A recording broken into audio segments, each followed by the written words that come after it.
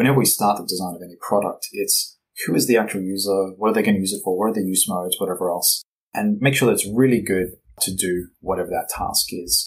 And so everything through and through from the choice of steel to the uh, material types to the geometry, the colors and, and the textures and all that kind of thing should speak to that user so that even at a distance, you know, someone can tell what it's used for. Welcome to the Knife Junkie Podcast, your weekly dose of knife news and information about knives and knife collecting. Here's your hosts, Jim Person and Bob the Knife Junkie DeMarco. Hello, Knife Junkie, and welcome to episode number 112 of the Knife Junkie Podcast. I'm Jim Person. And I'm Bob DeMarco. Thanks for joining us. Welcome to the Knife Junkie Podcast. It is the place for knife newbies and knife junkies to learn all about knives and knife collecting. Hear from knife designers, makers, manufacturers, reviewers, anyone who loves knives. The Knife Junkie Podcast has you covered, and our Sunday interview show today. That's what we're talking about today, Bob. And uh, a, a brand that I have only heard of as SOG, but I learned during this interview there are several different names. Yeah, yeah. Well, you can call it SOG, you can call it SOG, or you can call it what they're really kind of pushing for right now, which is Studies and Observations Group. Uh, which is the uh, sort of clandestine group that uh, the SOG knife company was uh, first based on uh, when it was created. It was it was created around the SOG knife, an iconic double humped Bowie style uh, military blade that was created for the Studies and Observations Group, which was a small uh, unit that went into Vietnam and checked things out before uh, before major U.S. forces went in there. And uh, their knife is legendary. SOG was created uh, around recreating that knife uh, for a new knife market in the in the 80s, and boom, SOG's been around ever since. And they've been very big. They've made folders for years that you could buy literally anywhere. And now they want to turn that around. They want to take the SOG brand away from knives for people who need knives uh, to knives for people who love and appreciate knives for very specialized purposes. Uh, so today we're talking with Jonathan Wegner, and uh, he's the gentleman responsible for the rebranding of the Studies and Observation Group SOG or SOG. Right. I call him SOG. Yep. And uh, very interesting guy. And his approach worked. What can I say? Uh, I've tried out three of the knives so far from the redesign, and uh, I'm very, very pleasantly surprised and impressed. Right. Jonathan Wegner, the vice president of brand at uh, SOG Knives, and uh, definitely got into uh, a lot of conversation about uh, the branding and the marketing and kind of bringing the company back to what it once was, I guess is a, mm-hmm. is a good way to say it. So that uh, that interview with Jonathan is coming up next, but first I want to remind you that our show today is brought to you by the Get Upside app. It's your way to get cash back on gas purchases. Get Upside uh, is an app again that you just put on your smartphone whenever you need to get gas. You search your area for savings, claim your discount, fill up the tank, then just take a picture of the receipt with your phone. That's it. You've earned cash back. Get the app on your phone now at theknifejunkie.com slash save on gas. Again, theknifejunkie.com slash save on gas. Subscribe to the Knife Junkies YouTube channel at theknifejunkie.com slash YouTube. I'm here with Jonathan Wegner of the legendary American Knife Company, named after the fabled Studies and Observations Group. Jonathan, thank you so much for coming on the Knife Junkie podcast. Yeah, real pleasure to be here. Thank you so much for having me on. My pleasure. And and before we go any further, I, I wanted to ask you. Uh, I've always said SOG. I've heard people say SOG, and and also just broken out into studies and observations group. What do you prefer personally? Personally, I don't think it really matters uh, because I've heard it all, and uh, you know, coming from Australia, I, I, heard it pronounced a couple different ways because you know we're so far away uh, from its origin. But uh, when I came on board, that was actually something I looked into, and I found there's kind of a split between East Coast, West Coast, and then kind of like Middle America, there's, there's just like all these different ways to say it. So in the South, we heard a lot of SOG. Um, on on North uh, West and Pacific Northwest, is uh, SOG, but you know ultimately it comes from MACV SOG, uh, the the acronym, um, and then how it's pronounced from the Special Forces group that, that Spencer Frazier you know named the company in honor of. We're going to talk a lot about this rebranding. Yeah. That you have spearheaded explain what inspired that. What what was the SOG that you inherited, and what were you looking to evolve it into? Yeah, so even before I started, the, CEO Joe McSweeney, um, he'd been brought on to just change where where the business was going, and we had elements within the organization like Barry McKay, our head of product uh, development, and Chris Kashbar, um, who's been with the company for like 12, 15 years now.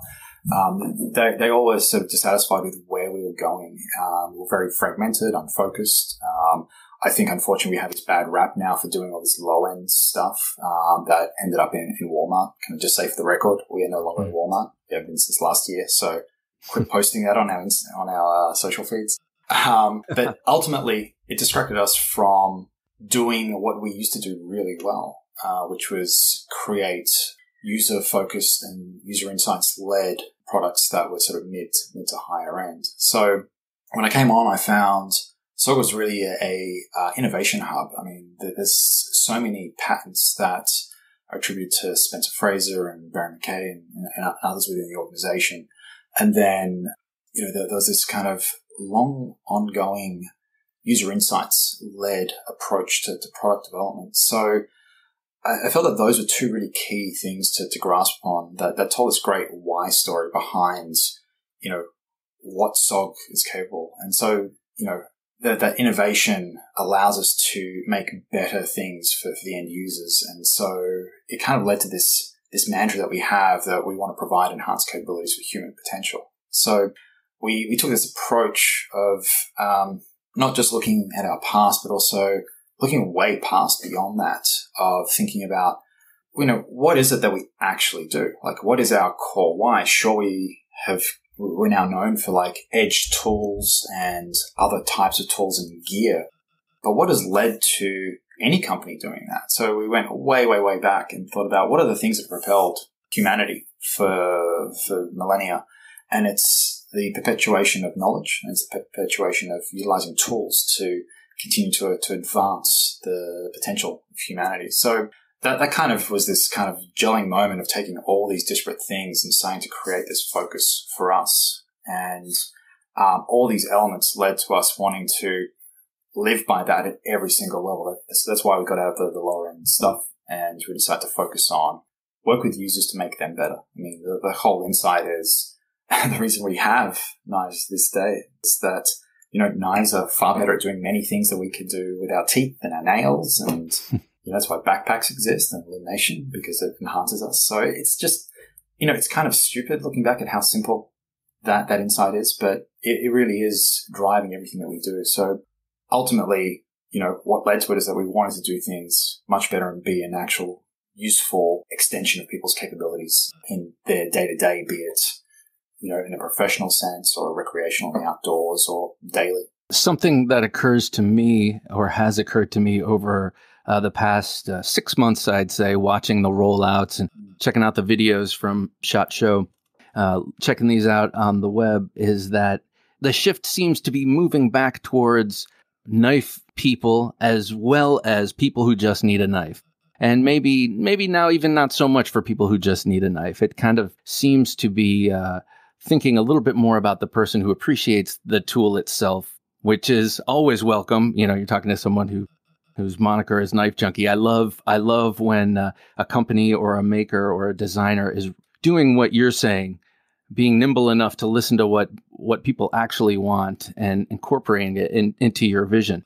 You mentioned uh, looking at user groups and user demographics, and I've read a, a bit about during this rebranding, you've you've broken it into three different user types. So, what are those user types? Yeah, um, professional users. So, in with that thinking, uh, when they have a piece of our gear out, a knife, a multi tool, whatever it is, that is the primary tool that they're using for that task.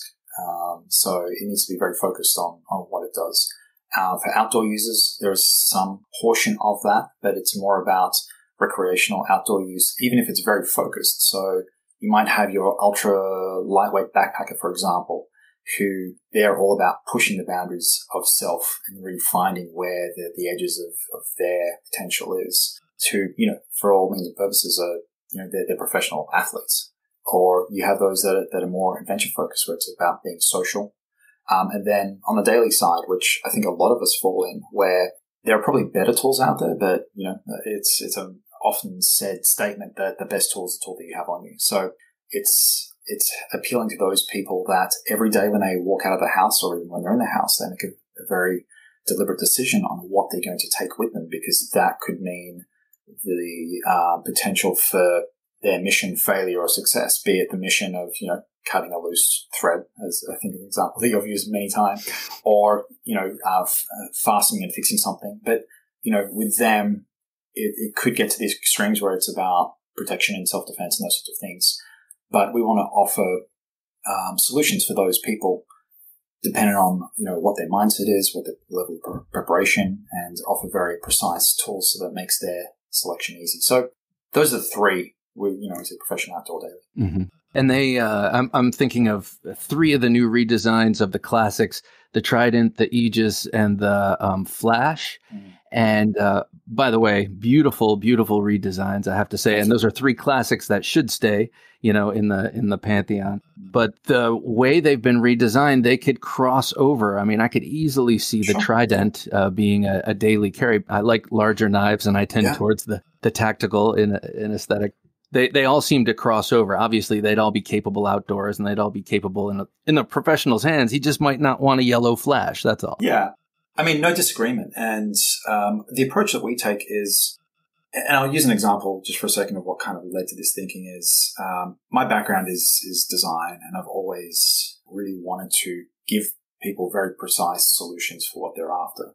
And so my approach quite often is I, I, want whatever we are developing to be really good at least at one thing, and anything beyond that is a bonus. So whenever we start the design of any product, it's who is the actual user, what are they going to use it for, what are the use modes, whatever else, and make sure that it's really good to do whatever that task is. And so everything through and through from the choice of steel to the uh, material types to the geometry, the colors and, and the textures and all that kind of thing should speak to that user so that even at a distance, you know, someone can tell what it's used for and, and so on and so forth. But just because it does that doesn't mean that no one else should touch it. It's just we want to ensure that it does that one thing really well. And if you're into that, carry it. Like, I mean, for example, um, I'm, you know, my daily carry right now is SOGTAC XR or Vision uh, XR, mm-hmm. which they, they're coming out in June. But even though they're in the professional category, I love them for the feel, the look, the weight. I mean, ultimately, we pick things because they're extensions of our personality. And, right. um, you know, I, I like black things. And so, you know, even the, the new stuff that we've released with, with Flash and Aegis, we've had people saying, make it in black. And like, yeah, sure, we'll do that. But let's, let's start off with, you know, providing something that feels more like an extension of that user set to begin with. Yeah, SOG has been doing black and gray and silver for a long time. Yeah. And, and if, you, if you want to make a definitive shift in your brand identity, yeah, maybe a season without black is, is warranted even the even the yellow and the red handled flashes with the black blade would just look look yeah. incredible. But still, I, I, I totally get where that's coming from. So, uh, in terms of what people will actually see, we're all familiar with SOG. Mm. Just because uh, a lot of us have been collecting knives for a long time. I, by the way, have four. I have the Super SOG Bowie. I've always been a huge fan of the yeah. of the fixed blades. I keep a, a seal, an old seal pup in my backpack, so in a way, that's a daily carry. I have this uh, old from 1991 that I got when I was in art school in Boston. Can't buy a knife in Boston now, I'm sure. Yeah. And then the new Kiku XR, which is yeah. a little beast. I love this knife. Mm. So anyway, there you go. But what are what are people going to be seeing? Uh, they're all familiar with SOG because SOG's been around a long time, and if you've been in the knife hobby for a long time, you're familiar with it. How's it going to look different from the outside, and then move on the inside? What innovations have you made? Yes, so we've we've been probably in the last even decade. Uh, there's been a lot of uh, push on the innovation side from the mechanical uh, design standpoint, and the reason you haven't seen a lot of the new mechanical designs is because we haven't been able to until recently, the last two three years, find manufacturing partners that, that can actually manufacture, which um, in certain instances has precluded us from being able to manufacture in the US. Um, I, will I'll say, say for the record that there is a desire to increase manufacturing in the US uh, for, for many different reasons. But, um, you know, ultimately we had to take manufacturing from certain items away from Japan and shift it to Taiwan uh, because you know we'd show a lot of these mechanisms even in their CAD form to the manufacturers. They're like, we don't know how to build that. So hmm. there is there's been a lot of innovation on the mech design side, and you'll see much more of that. We have we work three to five years out uh, with product planning. So all the things I'm really excited right now, you know, aren't going to be in the public's eye until uh, you know the first things I'm really excited about is you know fall 2021 and um, and onwards. But we're starting off with really I don't want to say fixing, but taking a lot of our favorite and trusted products to the to, you know in line with where we're going with the brand. So Vision, Pentagon, SOGTAC, um, Ultra, you know, all of these are um, upgrades in terms of mechanisms and design and material types. You know, D2 uh, tool steel right now is kind of going to be sort of like our standard entry level, if you will, mm. with XHP and S35VN as sort of the, the, the, higher end. And then we're looking at other types of steels.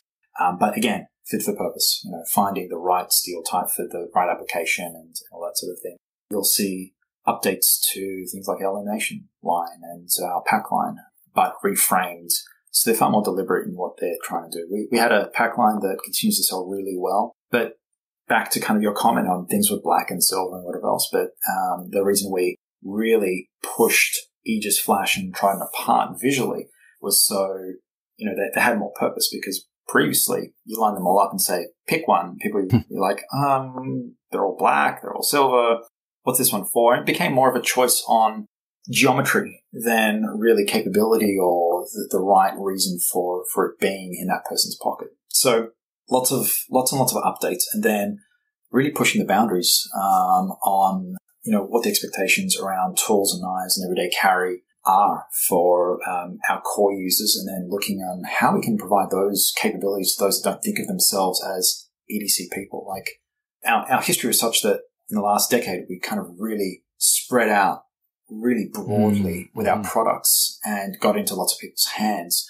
So if anything was a benefit in the last decade is that while we went really cheap and really cheerful, it got a tool that is still useful into lots of people's hands. I'm, I'm sorry to interrupt yeah. you, but but uh, from from your designer's eye, mm-hmm. um, what and and I'm not asking uh, you know to besmirch the old product because they're awesome. They just needed to change. They needed to to update. But from your designer's eye, what what did you look at and say these are the things that that definitely aren't uh, you know going to be uh, carried on to the new uh, the new iteration of SOG? Style for style's purpose and nostalgia for as a selling tool. So there was a lot of application of this is SOG's way, and it has to be tactical, and sometimes it could be tactical, um, and that's that's the SOG way. Black aggressive, all that kind of thing, and then applied as a hunting tool or your everyday carry. It's kind of like you get a lot of uh, brands out there uh, that, that might state things like, you know, this is this is the perfect tool for doing everything. Kind of like, well, not really. Like, you know, I can't take a fixed blade into a conference room and wear it on a belt, you know, and various kind of things. So it's really sort of adapting uh, to, to, each user and why and who and how and all that kind of stuff that we sort of already touched on.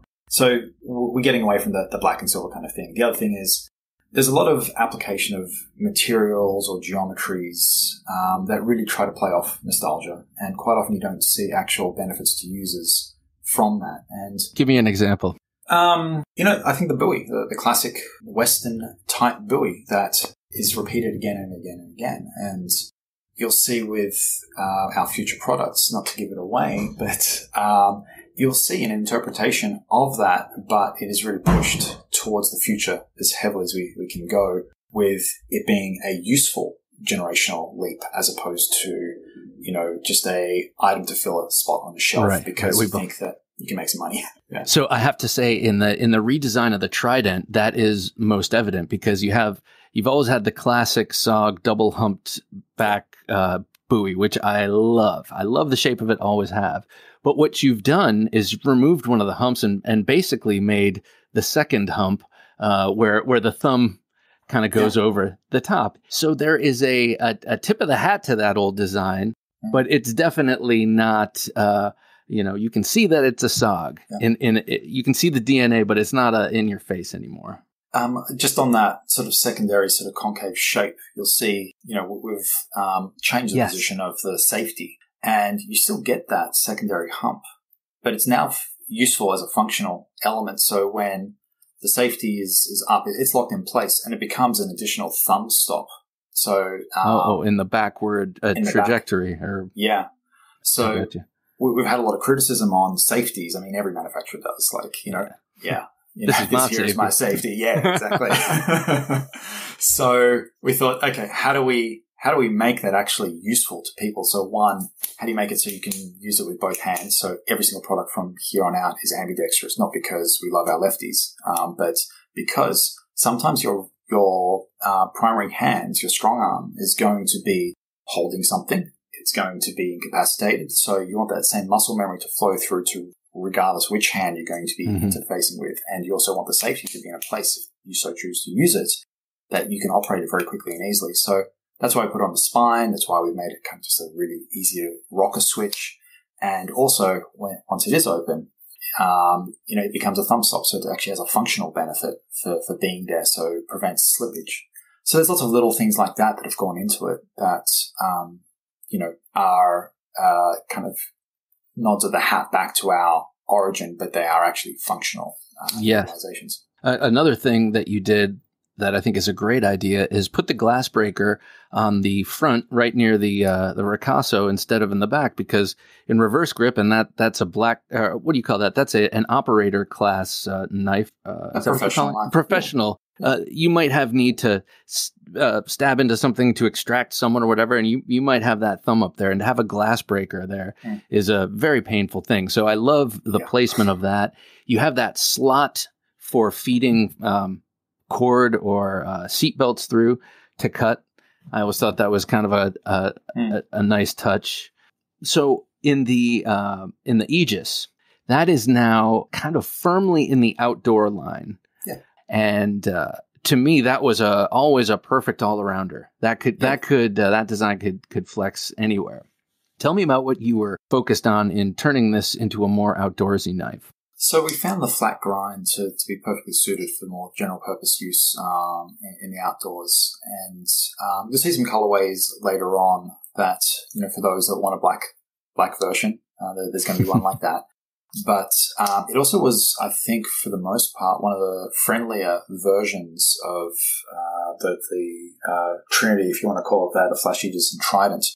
So we felt it was a perfect platform to really allow us to push a little bit harder into the outdoor space in um, allowing people that aren't knife people, so people that have just bought their pair of Salomons and Indigo and Acid Yellow for, I mean, I know this is a, an audio only podcast, yeah. but the, the, the one that we've just released is in this dark navy blue that we call Indigo with a really bright pop of Acid Yellow, Beautiful. which is, you know, something that you're going to see a lot in the outdoor industry. So we want to create connections with people and a level of comfort through more rounded shapes and uh, friendlier colors that start to get people that would never consider to, to carry a knife on them to you know start to connect with these tools that I think we all appreciate the, the benefit of every single day. So we we've got kind of a duality where we want to provide something incredibly useful to people that, that are already kind of knowledgeable in the EDC space, but also provide kind of a bridge to, to those that have not yet considered or yet uh, felt comfortable to bridge that space it's like doing this rebranding is is two things. It's it's like attracting new mates, but it's also uh, uh reaffirming your vows, with yes. the, you know, at the same time. And uh, so you want the people who've been buying your knives to remember that you're still there, and you're and you're concerned, and you're pushing things forward and giving us new things that we're interested in. But you're also looking to to take new ground and territory. What, what demographic are you are you reaching out to? Would you say? Um I, I think demographic.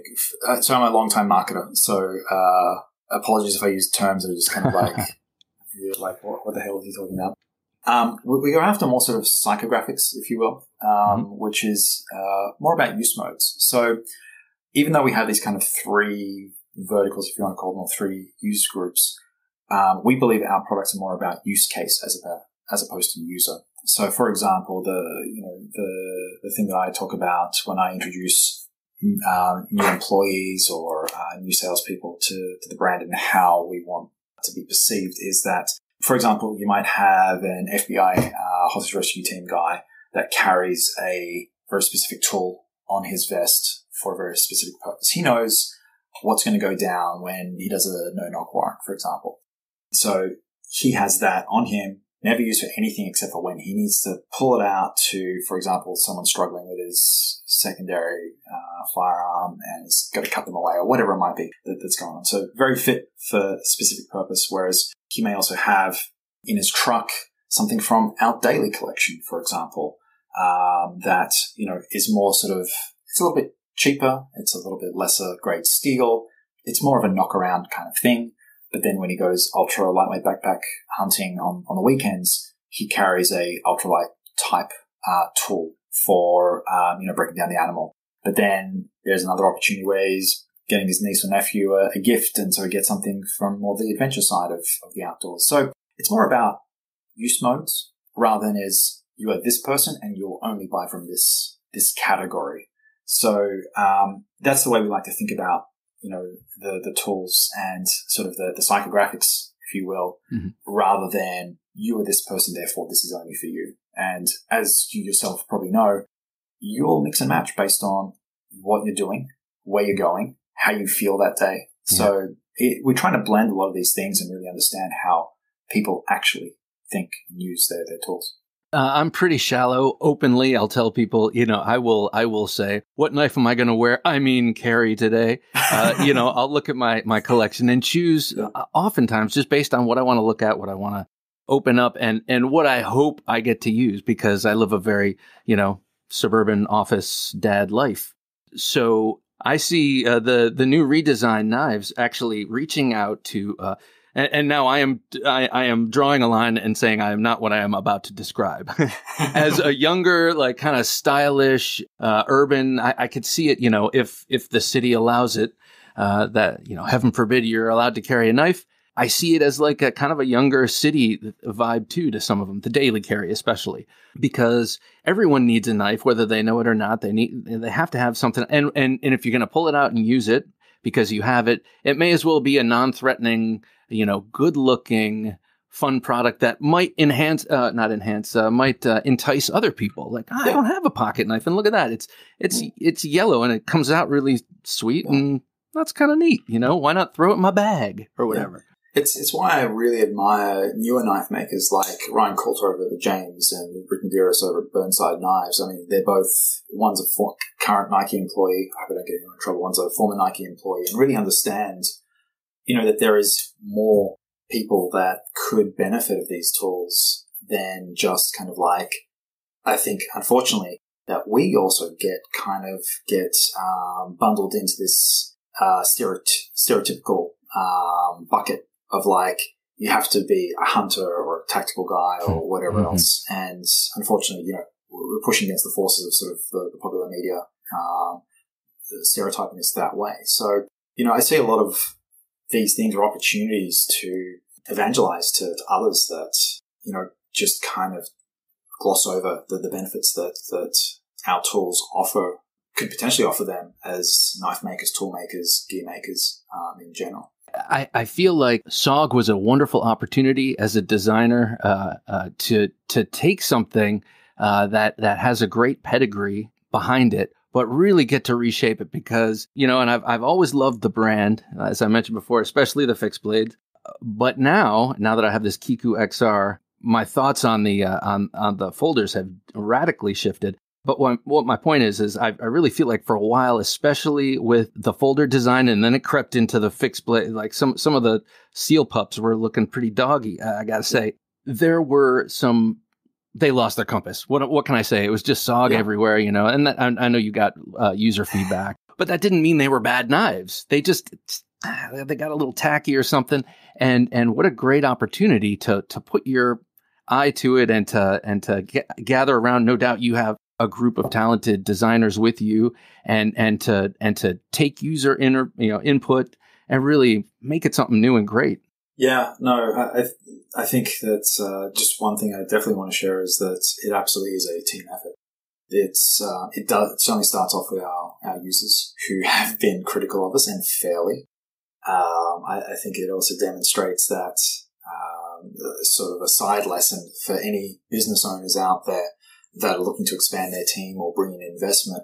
Really look at you know what those people have done before. Um, if you are a company that is looking to expand to the next level, really consider what those um, people that you bring in are going to do with your company, because ultimately you want everyone that's in the organization living to your mission, but also know what your mission is, so that there is a hmm. you know you, you have to kind of find that compass and actually establish. I mean, what I what I did prior to to SOG was uh, for the last ten years is work with businesses to find their why and then establish it across every single part of the business, uh, really integrating marketing with design, with sales, with, you know, thrown through. So everyone's pointing in the same direction. So, hmm. um, you know, sometimes you want to take a shortcut and get somewhere, but by bringing people in, but they will, you know, we, we all do it. We all, you know, go to the experiences we've had in the past. And if every problem looks like a nail, you know, you're gonna you're gonna have that down.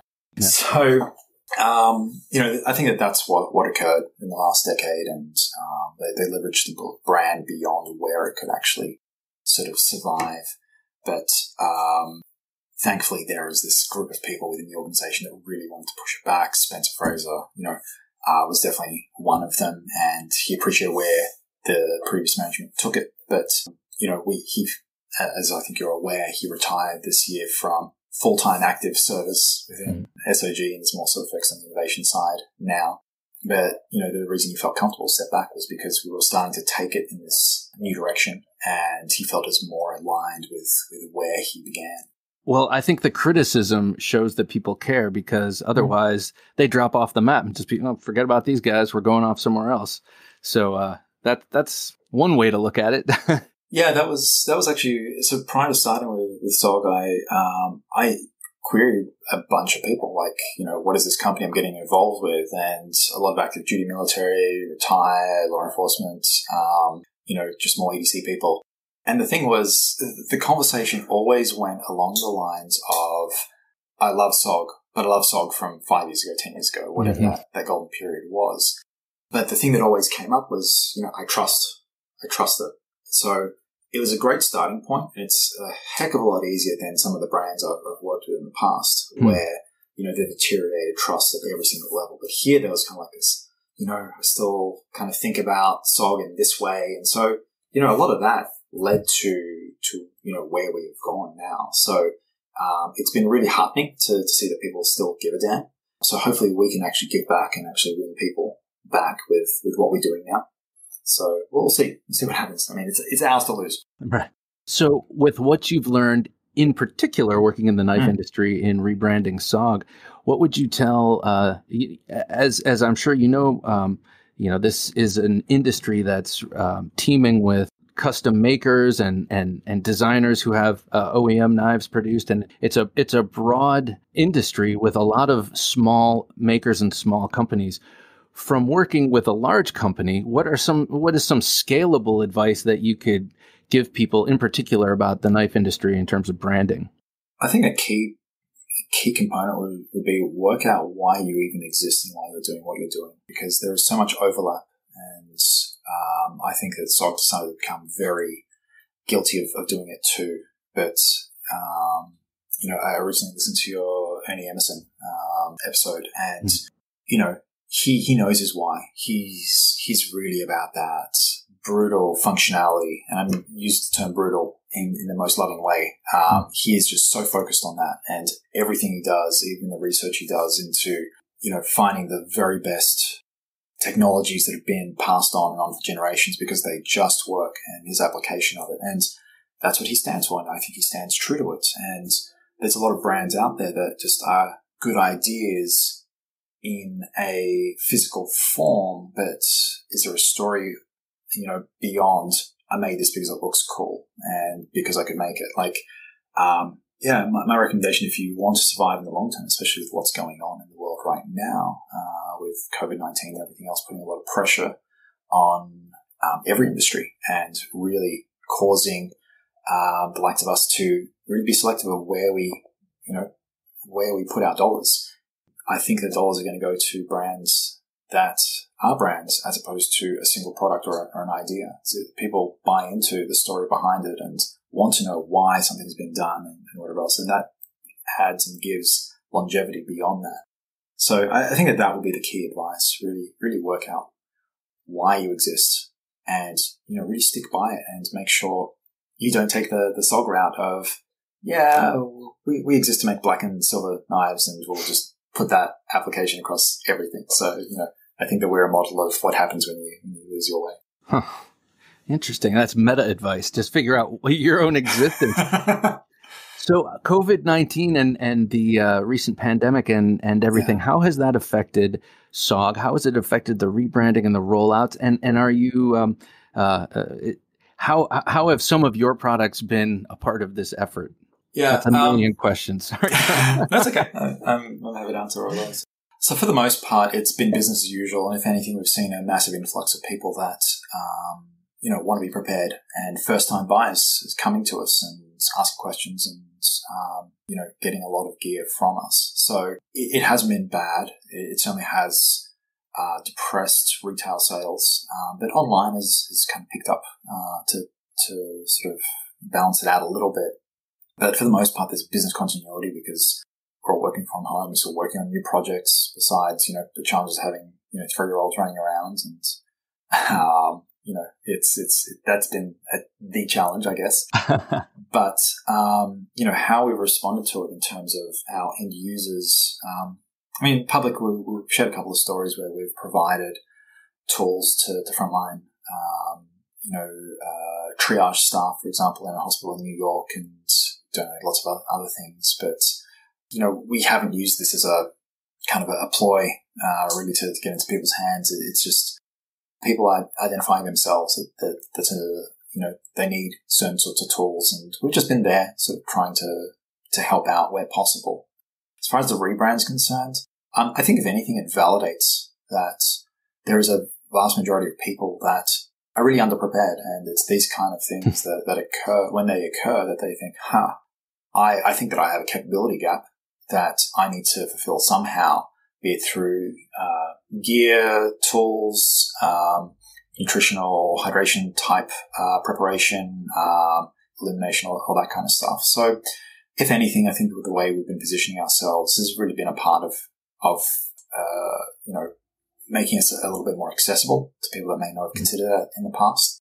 But I don't think it's it's put a dampener or anything that, that we're doing, and um, you know, we've just kind of adapted and responded just as going back to what I t- talked about before, just like our um, ancestors have for the thousands, hundreds, mm. millions of years um, in the past. So it's just a, another step in our adaptation and I think the resilience that, that, we build up. So if anything, we've taken this as a uh, precursor to what the new normal is going to be, and we're just continuously learning, learning, studying, observing, understanding, applying the, the, the the whole thing to our to what we do next.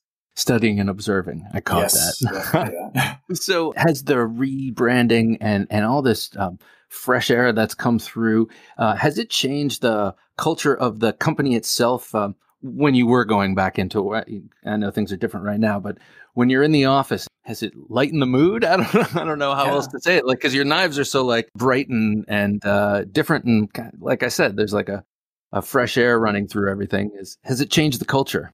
Yeah, absolutely. Like um, everything you do in an organization is is cultural, um, and if you don't instill that culture, the, the end result isn't going to be um, isn't going to reflect who you are. So yeah, it certainly changes the conversations that we have. It's it starts off. I mean, our, our product development process is really reflective of that. So certain conversations uh, might start off with like oh, I want to do a hunting knife that looks like X. And instead it's, it's more about, uh, hey, I talk to some buddies and they're into hunting and they get frustrated when they do this. And, you know, I've been thinking about this and I've, maybe I've got this idea how we can solve that. So, you know, it, it really causes the, the, framework of our discussion, um, in, in the, within the company to be different. And it's really about kind of like always, why are we doing this? What problems are we solving?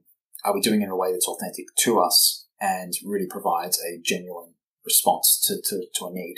So yeah, it, it, really does kind of affect a lot rather than just kind of a logo on a box and the geometry of a, of a tool. In, in just reading up before uh, talking to you, I got the feeling, um, and and it only I'm only thinking of this now, uh, mm. but I got the feeling of like sort of a Silicon Valley. So like, let's get together, man. Let's let's let's all let's all get together and work and talk about what the greatest knives are. Like you know, a bunch of people excited about innovating basically. I kind of cringe know. a little bit because I'm thinking tech bros and I've, yeah, worked no, in no, the no, electronics industry and I'm kind of like, oh, not quite like that. I'm just thinking of a bunch of knife nerds getting together yeah, and figuring oh, out how are we gonna how are we gonna make this new thing and uh, how are we gonna make what we want to make and assimilate all of the feedback from from you know the last five years or whatever four however many years, you know, and and turn this into something great. And you have a lot of great minds working together, a lot of minds working together. Who knows if they're all great, but they all have some great in them. I I do uh, you know I work in television production. That's that's all collaborative, and uh, and without the expertise of everyone I work with, I'd be nothing.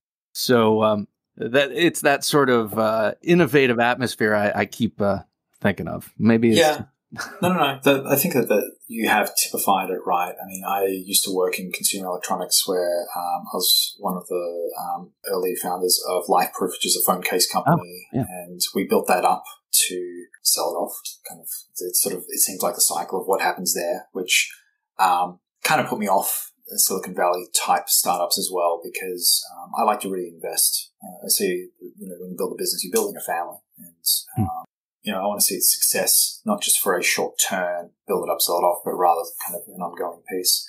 But there, there's lots of lessons that were learned from those experiences where you really try to get a best of breed type thinking. And even before that, before we, we did the LifeProof thing, um, I worked for Raytheon Company in Australia oh, yeah. where we, um, you know, my, my job was in supporting selling of missile systems and complex systems like uh, the, the new uh, missile destroyer and that kind of stuff also called the Aegis, or at least here the, the, the uh, oh, it's it's radar. the Aegis system is yeah part of it. Yes, uh, that, that, that wasn't lost on me.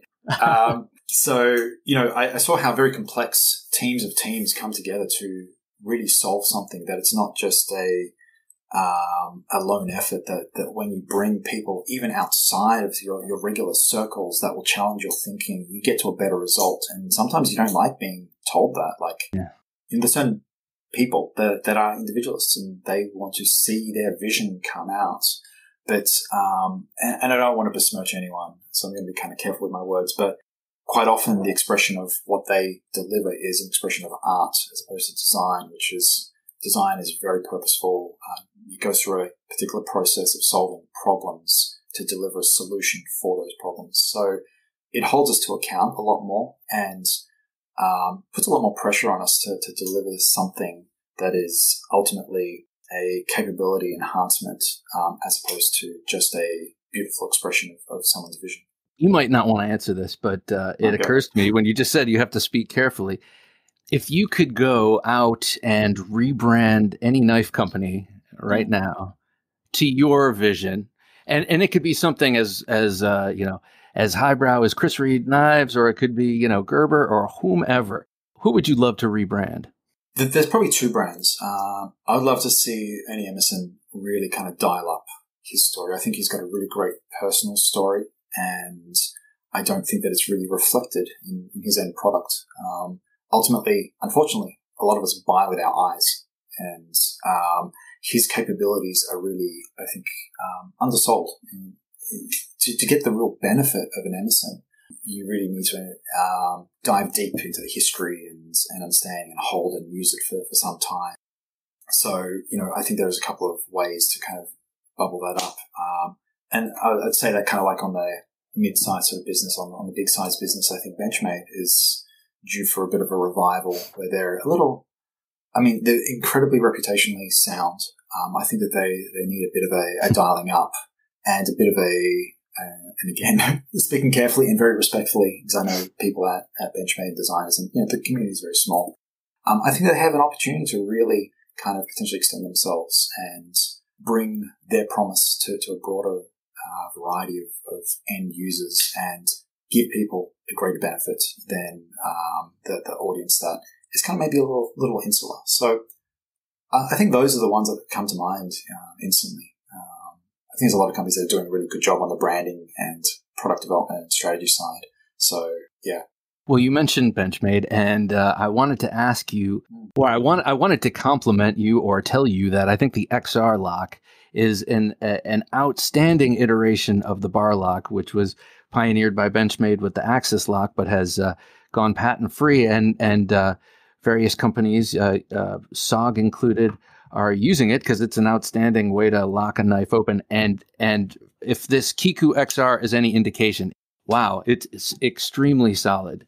And uh, so I, I, have to say, excellent job with the new bar lock. And can and I, I can I yeah. provide a slight correction there? Please, I, apologize. Please do. No, no, no, no. so um, the um, Benchmade's bar lock and uh, SOG's um, arc lock were actually developed at very much the, the same time, mm-hmm.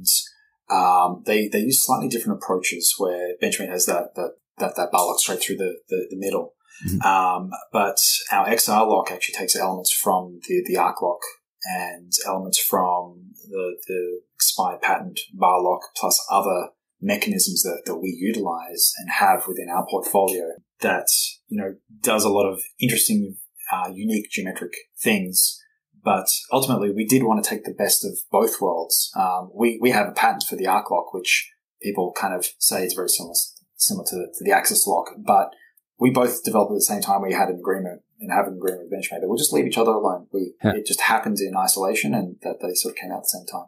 Well, that, that's what I was actually getting yeah, at. I was, I wasn't, no, no, I, I, wasn't, I wasn't trying to infer that you're biting off their stilo, but, but no, no. actually, uh, I, the arc lock has been around as long as the axis lock, and I was going to ask you how the new.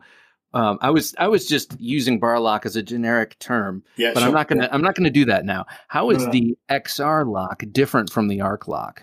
So there's a multitude of geometric changes um, that we implemented to provide a couple of different capabilities. So it's very much capability driven of what the end result was that we wanted to, to derive from it. We have a very a stronger suckback um, spring on. Mm-hmm. I'm just going to hold up vision. Yep. Um, sorry for people without vision. Uh, so just do the audio thing. Um, we wanted it so that it doesn't accidentally deploy in pocket or you know, when you drop it, that it's the blade falls out. I mean, that, that's always that moment when you drop um, any kind of knife. You're thinking, "Oh crap, is it in front of your boss?" Yeah, oh, what, what's going to happen? so we wanted to um, mitigate inadvertent opens. Um, so the we had to adjust the geometry to be able to do that. We also uh, wanted to work with a kick. So one of the key differences is that it, it works with a kick. So the suckback spring actually helps in building up enough um, energy. So that way, when you use the kick, it flicks out. Um, so there's there's that kind of thing. We also wanted it to be completely ambidextrous in every single iteration. Mm-hmm. Um, so that that's sort of how that interface works. But also we wanted it to not have to be worn in from the outset. So when you get a, a SOG with an XR lock on it, it's ready to go. It's going to deploy first time every time the same way on and on and on and will wear with age. So basically, we wanted the promise to be the same from first deployment through to hopefully never final deployment. Uh, I was uh, watching a video from 2020 uh, Shot Show, and uh, your your sales gentleman was uh, was talking about the ambidextrous nature of all, of all the knives, and he said this isn't because we love our lefties, which you know I'm sure you do, but it's yeah. because uh, especially especially important in the in the professional class you're you're you're in a, some sort of situation where you're trying to save a life or you're in you know hanging from a roof or whatever you got to switch hands you got to close that knife you have to make sure that that's just not something you have to think about in that moment how am i going to close this knife so that i can continue to try and save my life or this other person so the ambidextrousness uh, of the design is important so that you can operate it with both hands easily and flawlessly yeah, absolutely. Um, it's it's so important to us that it's just accessible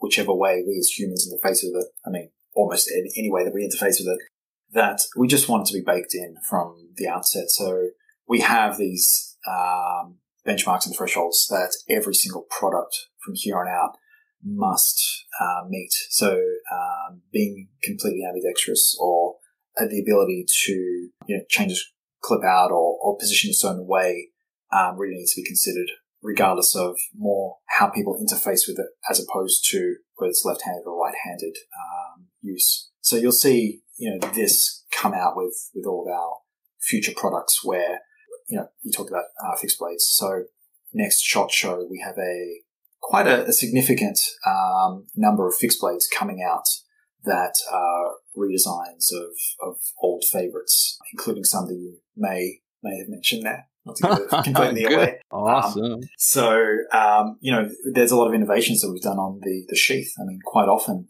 sheaths are sort of like, well, we'll go bend some Kydex, put some eyelets through it, done, dusted, and Yeah. the sheath looks like it was an afterthought because it was, just to be very frank. Whereas the knife is beautifully sculpted, a lot of care and thinking has gone into it.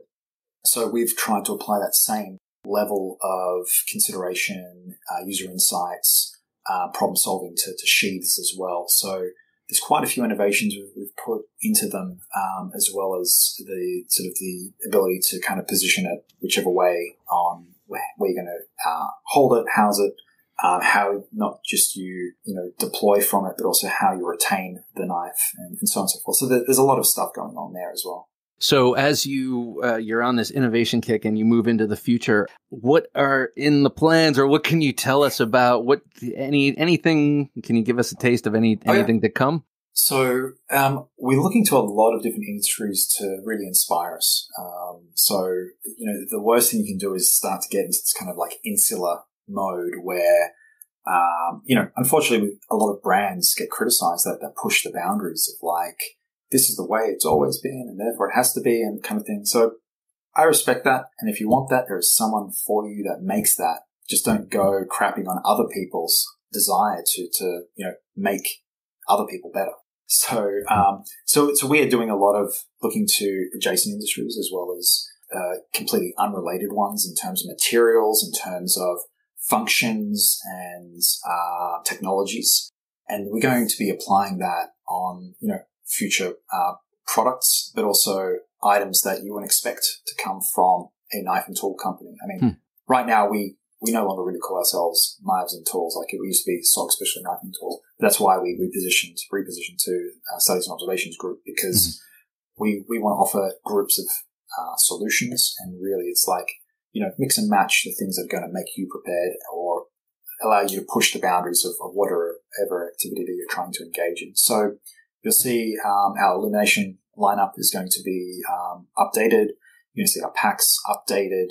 You're going to see some partnerships with with brands where it's not just a design collab of where you know we get them to draw some lines and then we laser on our, our logo on the blade or whatever it might be, but rather true collaborations where we're taking the best of what they do and the best of what we do and really creating something new. So um, there's a lot of that happening. Um, I think kicking off from next year.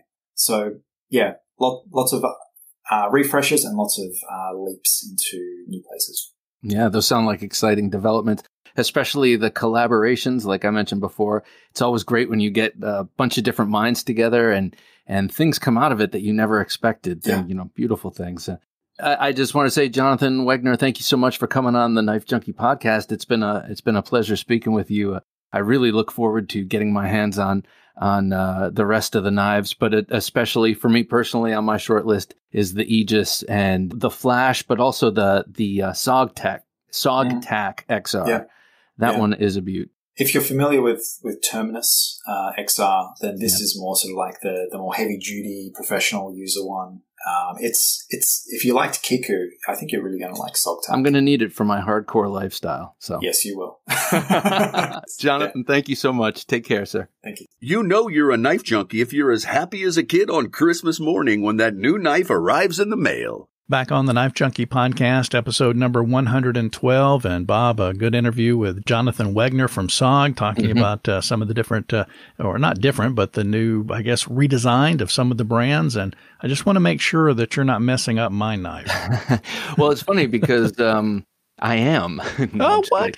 No, it's been sitting on my desk with other knives that I value greatly, but I have been, uh, I have been breaking it in for you, Jim. Oh, breaking it in for you, but Appreciate not that. not using it. And remind listeners what we're kind of joking about. Oh, okay. I, I do apologize. We got uh, a a SOG Aegis and a SOG Flash in a package from uh, SOG, and I have had the Aegis and have been, mm, I don't want to say abusing it, but using it harder than other knives in my collection just to see what this new Cryo D2 is all about and to see how robust the action is. Now, I got to say, these new knives are impressive to me in two ways. First of all, they they took the silhouettes of these knives that have always been beautiful and then made them look beautiful when you cast light on them. You know, they took away all the the, the overdone branding and uh, and all of that, and they brought color. But also, there's a robustness to these knives. There, there. I have uh, still been not been able to introduce any play into the Aegis that I have been using, uh, nor have uh, have I been able to bring any uh, play into your knife, the Flash, which I've just been flipping open. And uh, I got to say, the the geometry of the of the Aegis is awesome in both. I've been using it to to make feather sticks uh, for the for the backyard fire pit. I'm trying to be like a backyard Bear Grylls, and it's working beautifully for that. And also, it cuts cheese well.